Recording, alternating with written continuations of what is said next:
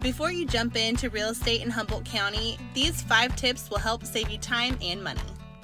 Humboldt County's market can be competitive, especially in sought after areas like Arcata and McKinleyville. Homes can go quickly, so be prepared to act fast. Living near the coast means you'll experience lots of rain and fog, which can impact home maintenance. Make sure your new home is built to withstand the weather. Location is key. From forested retreats to oceanfront properties, Humboldt offers it all. Think about commute times, proximities to school, and access to amenities when choosing your location. Embrace rural living. Many areas in Humboldt are rural, meaning you'll have more privacy but might be further from city conveniences. Rural living also means maintaining a septic system and wells. Be prepared for unique building codes.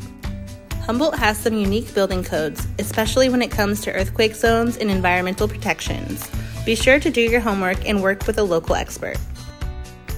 Follow me for more insider tips and reach out when you're ready to find your perfect Humboldt home.